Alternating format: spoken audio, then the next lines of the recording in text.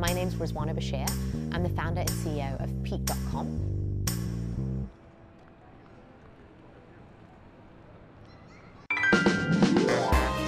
Ruzwana, it's lovely being here and lovely being in the offices of Peak.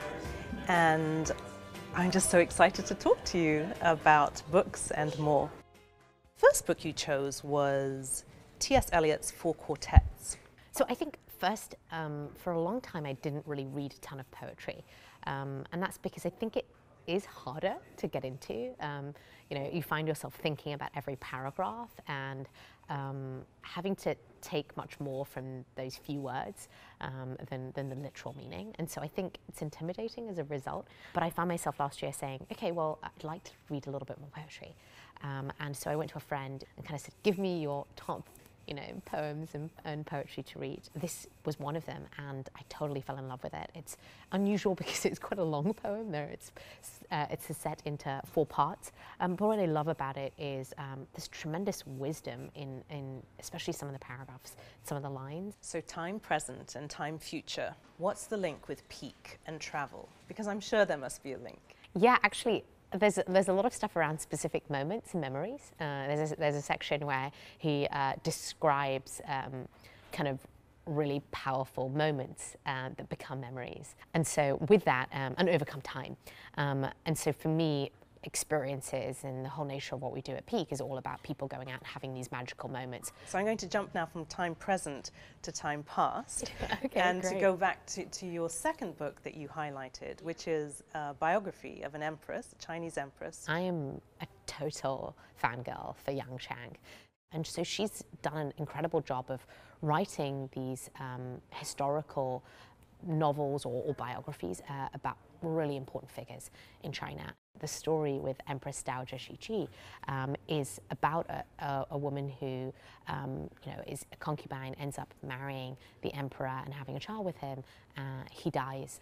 It's just incredible story. It's fascinating because there's so many twists and turns. It feels like a thriller. I'd like to hear more about women, other women who have inspired you. One thing that I'm really excited about is that there is a group and generation, I think, of, of, of young women today who are forging paths as entrepreneurs. Katrina Lake, um, who's the CEO of Stitch Fix, Caroline Ghosn, who has a company called Levo. I think Oprah Winfrey has been um, phenomenally powerful for people around how we perceive um, being able to be authentic and be ourselves. Do you feel that women in tech get enough attention, as much attention as the men? Because you mentioned two names that I hadn't heard of. I think there are some really great female um, leaders and CEOs. I think sometimes they're not getting as much representation as they could. Remember that about, only about 2% of, of, venture capital goes towards female uh, founders. Um, so there is definitely a delta between um, you know women and men when it comes to their ability to be able to shape and build companies. And yet, when we think about the tremendous wealth creation and impact that startups are having today, um, that's something we have to change. What would you be celebrating, commemorating in this year for International Women's Day? Well, I think um, I think in the last year um, me Too and Time's Up um, have been really impactful um, in how much we've been able to have a conversation about issues that have frankly been quite taboo um, and you know whether it's harassment or abuse that is that has been able to continue for for decades, centuries probably, um, and I think that that it does feel as though we have a turning point to start a really important conversation. I think I got my personal precursor to Me Too. I wrote about abuse a few years ago, and, and I remember at the time um, feeling tremendously um, conscious and self-conscious around being able to bring up an issue which um, felt both deeply personal, but also something that I didn't want to be labeled as, you know, when it comes to abuse and harassment. The basic fact is that the vast majority of, of women have, have faced it.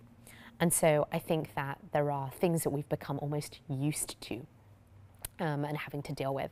And I think that um, we're in the majority and now we realize we are. Whereas before it was, am I the only one? Is this only, is this happening to me? Should I really talk about this thing? Is it going to impact my career?